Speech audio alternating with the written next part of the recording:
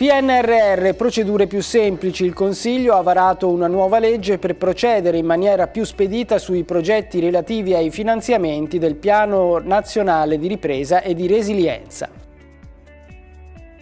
Rigenerazione varato il bando dal Consiglio 1.750.000 euro per i giovani. Buonasera e ben trovati a questo nuovo appuntamento con Monitor Consiglio. Il Consiglio regionale della Toscana ha approvato a maggioranza la legge che introduce una disciplina speciale e a termine necessaria per favorire la piena realizzazione delle opere pubbliche finanziate con le risorse del Piano Nazionale di Ripresa e Resilienza, il PNRR, e del Fondo complementare. La legge è passata con 24 voti a favore e due contrari, 9 i consiglieri, tutti di opposizione, che non hanno espresso voto, approvati anche alcuni emendamenti. La legge nasce con il proposito di cogliere appieno l'occasione offerta dall'arrivo delle risorse comunitarie per risanare i danni economici e sociali causati dalla crisi pandemica. Risorse ingenti e tempi stretti per la presentazione e l'attuazione dei progetti, di cui la necessità di procedere a uno snellimento delle procedure amministrative legate al governo del territorio. Nel corso del lungo dibattito i gruppi di minoranza hanno però parlato di una legge che di fatto crea discriminazione nei confronti dei comuni e dei privati, che comprime la partecipazione e usa la semplificazione quale alibi da parte della Regione per abdicare alla funzione di programmazione e controllo. Sentiamo le interviste che abbiamo realizzato. Con questa legge noi abbiamo innanzitutto raccolto la preoccupazione degli enti locali, dei sindaci che entro la fine del prossimo anno devono progettare ed impegnare le risorse collegate ai fondi del PNRR e chiedono semplificazione. Eh, noi abbiamo quest promosso questa legge eh, con l'intento di ridurre i tempi, di semplificare le procedure laddove occorre una variante urbanistica. Non si tratta di nessuno stravolgimento, si, sarà una legge limitata nel tempo, collegata al PNRR e limitata negli effetti perché sarà limitata alle opere finanziate con questo strumento, che rappresenta, lo ricordiamo, un'occasione per la Toscana e l'interesse di tutti noi, della Toscana, è quello di portare tante risorse e investimenti del PNRR nella nostra regione e far sì che questi si trasformino in opere rapidamente e nei tempi imposti dall'Unione Europea. Ma la nostra posizione è di buon senso, mediata anche con i nostri rappresentanti sul territorio. Siamo assolutamente favorevoli a semplificare i passaggi burocratici per rendere operativi i fondi del PNRR, perché è bene che i cittadini sappiano che fino ad oggi molto si è discusso, tanti progetti, tante idee sono state presentate, ma poi quelle idee e quei progetti vanno, come si dice, calati sul territorio. Per farlo bisogna rispettare le norme. Ebbene, la Regione Toscana negli ultimi vent'anni ci ha abituato a caricare di norme, di passaggi burocratici, di piani, contropiani, verifiche, eh, tutti i passaggi e tutte le singole eh, opere edilizie, basti pensare a quello che deve fare un povero eh, cristiano per spostare una eh, finestra di 50 cm in eh, regime eh, di vincolo paesaggistico, poi d'un tratto si sono resi conto che non sono in grado di gestire questa congerie enorme di norme e quindi vogliono sostanzialmente spazzare via il passaggio dei consigli comunali laddove la realizzazione di questi progetti comporti variante alla pianificazione urbanistica. Noi su questo non siamo d'accordo, così come, non siamo d'accordo nell'eliminare la VAS, la valutazione ambientale strategica, soprattutto per i progetti di più ampio impatto sul territorio, perché diventa una contraddizione clamorosa eh, applicare eh, i progetti del PNRR, che come sappiamo è il Green Deal, cioè la rinascita verde dell'Europa, eliminando la valutazione ambientale strategica. La posizione su una semplificazione per eh, i progetti che eh, dovranno essere fatti sui nostri territori con i finanziamenti del Piano Nazionale di Ripresa e Resilienza chiaramente non ci può trovare contrari.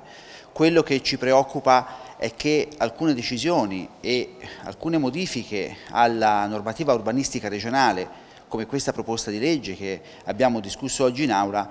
è un problema di tipo diverso perché pone eh, un'attenzione che deve essere rivolta ai territori in particolare noi abbiamo preso posizione per quello che riguarda le amministrazioni comunali. Noi non vogliamo che le decisioni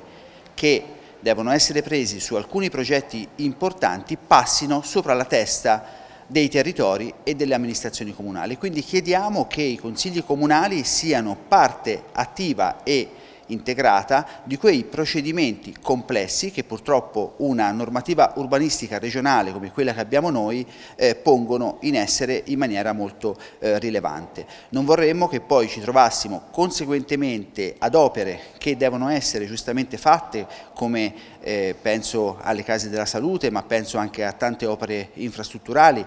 come eh, organi proponenti che possono essere la Regione e lo Stato, ma qualora non siano i comuni, che i comuni siano parte decisoria, efficace e importante e decisiva eh, di queste opere. Quindi eh, sicuramente vogliamo che quei 4 miliardi che arriveranno eh, per i progetti eh, del Piano Nazionale di Ripresa e Resilienza arrivino sui nostri territori, vogliamo che questi soldi siano spesi fino all'ultimo centesimo, vogliamo che ci sia eh, questo tipo di intervento e che la Toscana sia eh, parte eh, attiva e, eh, e, importante su questi processi, ma non vorremmo che queste decisioni passassero sulla testa delle nostre autonomie locali comunali, perché eh, sappiamo bene che poi eh, quando si parla di localizzazione di alcune opere ci deve essere il consenso della cittadinanza che lì ci vive.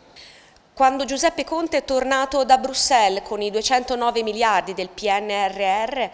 è stato immediatamente chiaro e ha detto che era necessario spenderli presto e bene. La Regione Toscana partiva avvantaggiata per quanto riguarda lo spenderli bene grazie alla legge Marson, la legge 65 del 2014, che garantiva eh, un'urbanizzazione, una gestione e tutela della qualità del paesaggio e dell'urbanistica ottimali. Era una legge faro per tutte le regioni d'Italia. Ma in questi otto anni la maggioranza che è stata al governo e che ha voluto quella legge non è stata in grado o non ha voluto finanziarla dal punto di vista economico e delle risorse umane per arrivare oggi col PNRR appunto a dover riconoscere di non avere le risorse, gli strumenti per poter intercettare presto questi soldi. E quindi a cosa si ricorre? A un escamotage. Si dice che si superano transitoriamente le regole, le, la normativa che era stata prevista per far sì che potessero, possano essere fatte queste opere. Ebbene, io voglio ricordare a tutti che per superare transitoriamente questa legge ci saranno poi delle opere ben poco transitorie che insisteranno sul nostro territorio per decenni e che se fossero mal costruite potrebbero costituire un danno più grande dei soldi che riusciamo ad intercettare, perché superare la valutazione ambientale eh, comprimere i poteri dei comuni e dei consigli comunali a, a, a cercare di eh, analizzare quello che è l'impatto sui propri territori di queste leggi e di quelle opere, cercare di limitare temporalmente la conferenza di copianificazione e addirittura chiedere di derogare a 10 articoli un'intera legge significa scavalcarla e di fatto annullarla. Questo è quello che è riuscita a fare in questo momento la maggioranza e ne siamo fortemente delusi perché riteniamo che si potesse invece intervenire in maniera migliorativa e che si è persa un'occasione per fare della regione toscana una regione di cui si possa essere orgogliosi per la capacità di valorizzare le risorse che, lo ricordiamo ancora, il Movimento 5 Stelle grazie a Giuseppe Conte ha messo a disposizione.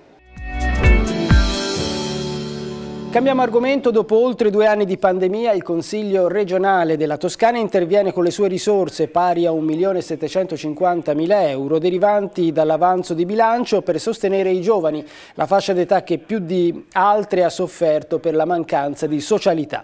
Nasce così il bando Rigenerazione Toscana presentato a Palazzo del Pegaso dal Presidente del Consiglio Mazzeo e dai consiglieri Petrucci, Casucci e Scaramelli. L'ufficio di presidenza, con una decisione unanime, ha deciso di investire in questo senso le risorse frutto dell'avanzo di bilancio dell'Assemblea legislativa. Il bando scade il 16 maggio, a gestire le risorse saranno i comuni che dovranno garantire una compartecipazione almeno del 20%. Quattro le sezioni del bando, rigenerazione urbana, culturale, sociale e inclusiva. Sentiamo le interviste. Era una scelta che noi abbiamo voluto fare con forza eh, durante il periodo più difficile, eh, quello in cui tante ragazze e tanti ragazzi non riuscivano a vivere la socialità. Allora abbiamo deciso di individuare in eh, iniziative rivolte ai ragazzi e alle ragazze più giovani eh, le risorse che sono frutto dell'avanzo del Consiglio regionale e abbiamo chiamato questo bando voluto con forza da tutti i membri dell'ufficio di presidenza presidenza, ringrazio i due vicepresidenti Casucci e Scaramelli e i due eh, segretari Fratoni e Petrucci perché abbiamo deciso di individuare Rigenerazione Toscana come momento di ripartenza rivolto ai più giovani, quindi rigenerazione culturale, penso alla street art, rigenerazione sociale, con spazi anche autogestiti di aggregazione giovanile, oppure rigenerazione inclusiva, con i parchi gioco inclusivi rivolti alle ragazze e ragazzi più giovani, o quella che io chiamo rigenerazione musicale per far ripartire eventi nelle nostre città. Uh, eh, 1.750.000 euro che mettiamo a disposizione dei comuni della Toscana fino ad un massimo di 15.000 euro a progetto e con un cofinanziamento del 20% ma minimo da parte dei comuni. Noi speriamo che tutti i comuni della Toscana possano partecipare, possiamo finanziare più iniziative, più progetti perché il nostro obiettivo è quello di restituire almeno in parte una parte piccolissima, quello che i ragazzi e le ragazze non hanno potuto avere durante questa pandemia. Un po' abbiamo ristorato la maggior parte delle, dei soggetti commerciali che ne, avevano, eh, ne richiedevano il sostegno da parte della Regione, ma ai giovani non abbiamo potuto dare nulla. Questo è un modo per cercare di restituire in parte, anche se sappiamo una parte piccolissima, quello che questa pandemia gli ha tolto, cioè la socialità. Progetti importanti di rigenerazione urbana ma soprattutto rivolti alle nuove generazioni, quelle generazioni che più di altri a mio avviso hanno sofferto della pandemia, l'idea nasce lì, l'idea nasce da provare a mettere insieme i ragazzi, i giovani e soprattutto nei comuni, le associazioni, provare a trovare degli spazi, dei luoghi di aggregazione, questo è il punto che a me particolarmente sta a cuore, quindi la possibilità per molte persone di ritrovare anche livelli di socialità dove la pandemia aveva un po' eh, allentato queste relazioni, ovviamente altri progetti che poi possono riguardare anche l'arte di strada, possono riguardare ovviamente la produzione di festival, di concerti, di iniziative, la riqualificazione del verde, qualsiasi progetto che consenta alle persone di stare insieme con altre persone. Il livello di relazione sia interrotto, è complesso oggi eh, riuscire a ricostruirlo, quindi noi dovevamo avere uno strumento che desse ai ragazzi in particolar modo delle opportunità che purtroppo la pandemia in alcuni casi e in molti casi ha interrotto andando anche a vedere i danni che si sono creati soprattutto agli adolescenti e alle nuove generazioni rispetto all'impossibilità di creare una relazione con l'altro, quindi mi auguro che ci sia una risposta importante dei comuni toscani, i comuni possono compartecipare ma credo che la differenza la debbano fare l'autogestione, l'auto-organizzazione, le iniziative che nascano dalle associazioni dove i comuni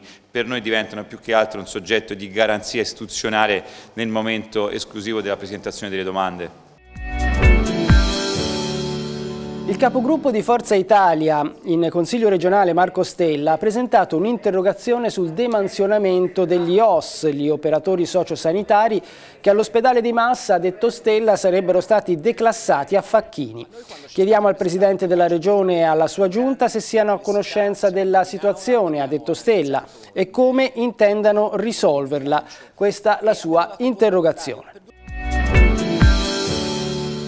Cambiamo ancora argomento. L'arte di governare non dimenticando la fratellanza tra i popoli è il tema centrale del volume Un mondo aperto per una buona politica sull'enciclica Fratelli tutti di Papa Francesco. Il libro, a cura di Lucio Romano, Vannino Chiti e Paolo Corsini, è stato presentato a Palazzo del Pegaso. Alla presentazione, oltre ai curatori del volume, sono intervenuti tra l'altro mm, l'imam di Firenze, Izzedin e il Zir e il cardinale Giuseppe Betori, arcivescovo di Firenze. Nelle interviste ascoltiamo le loro dichiarazioni e prima che cosa ci ha detto uno dei curatori del libro, Lucio Romano. Ma una politica basata sul dialogo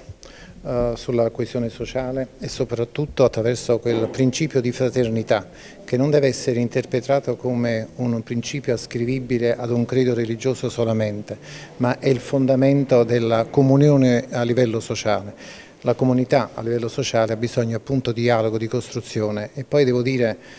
nemmeno prevedendo evidentemente quello che poi sarebbe accaduto con la guerra in Ucraina, il titolo dato che prende in buona parte quanto riportato nella lettera enciclica Fratelli Tutti, un mondo aperto, sta appunto a significare la possibilità,